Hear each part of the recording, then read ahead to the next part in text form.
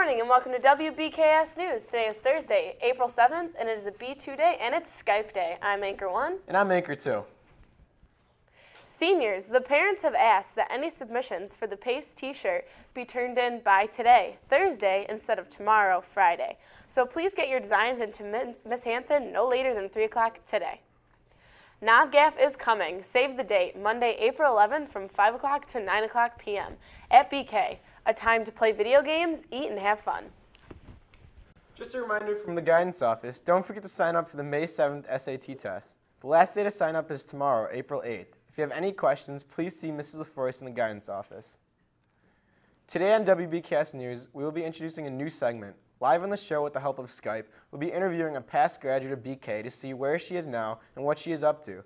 On today's show, we will be talking to former news host Emily Pietrocarlo, who now attends Syracuse University.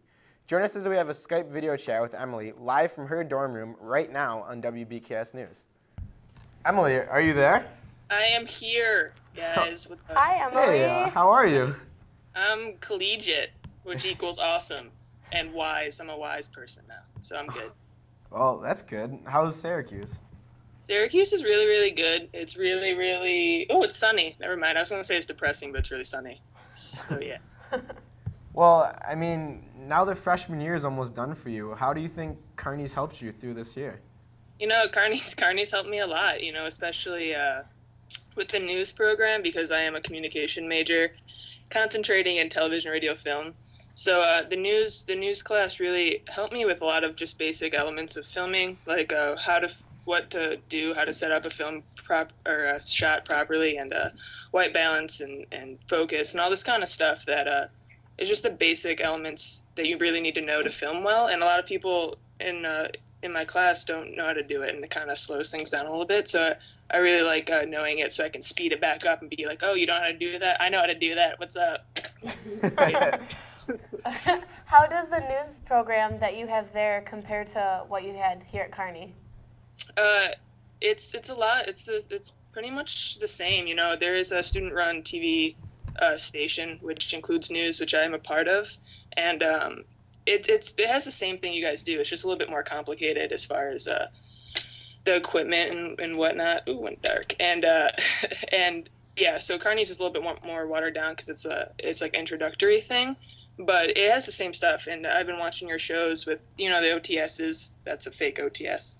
And uh, the green screen and all that stuff that they use in real shows. Even the green screen, I have no idea how to do. So I, I envy your skills in that department. it's okay. Do you have any advice for us here at Kearney?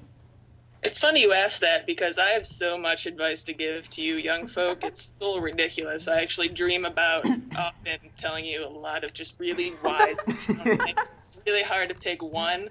I'm gonna have to. And uh, my one piece of really great advice. So listen, guys, listen.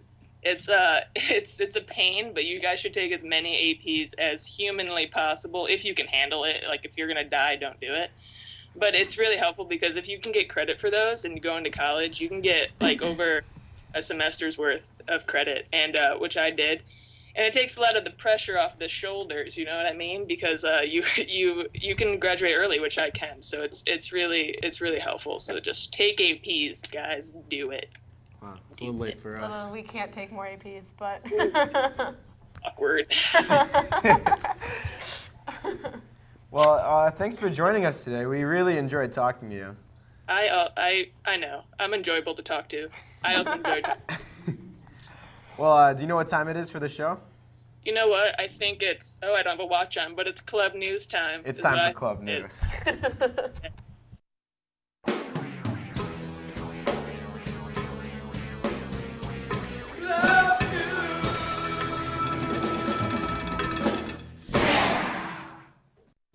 Hey, Bishop Kearney, listen up. April 14th is National Poem in Your Pocket Day. For this day, the English Club will be hosting a dress down day. What do you have to do to dress down? In exchange for $2, you will be given a poem by your homeroom teacher to keep in your pocket for the day. This will be your dress down pass, so make sure to keep it in your pocket. All proceeds will go towards helping the English Club print this spring. Talk to Miss Hoffman if you have any questions, and get ready to show your literary pride on April 14th. A human rights activist once said, Only the people can save the people. Bishop Kearney's Amnesty International student group couldn't agree more, which is why Wednesday, April 13th, they have chosen to stand in solidarity with over 2,000 prisoners of conscience that remain behind bars. On April 13th, the International Day of Silence, members of the Amnesty International will take a vow of silence to remember those who live in countries where people are silenced unfair- unfairly on a daily basis.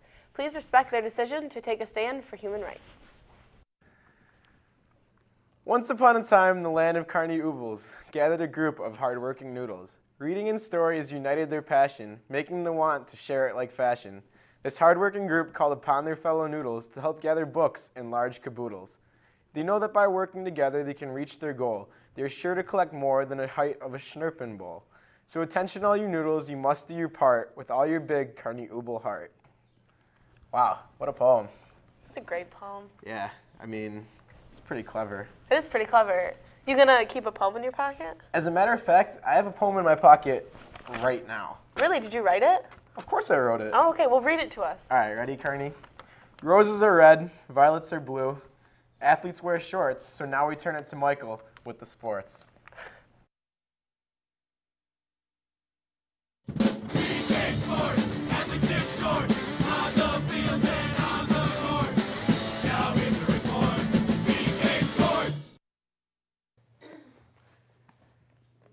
Attention all members of the golf teams. The bus for Eagle Vale leaves at 2:55 today, so please hurry to change and pick up your clubs in the team room.